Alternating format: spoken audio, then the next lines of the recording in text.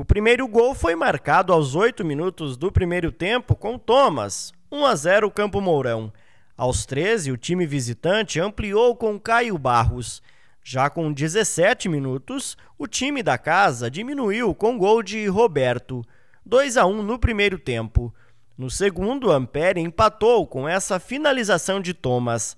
Aos oito minutos da segunda etapa, Caio Barros marcou novamente e colocou os visitantes à frente do placar.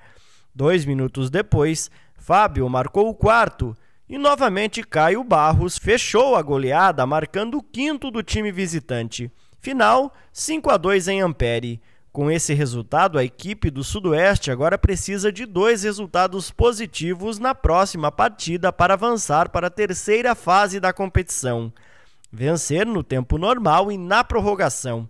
A data da volta é sábado, 18 às 18 horas, na Arena UTFPR, na casa do adversário.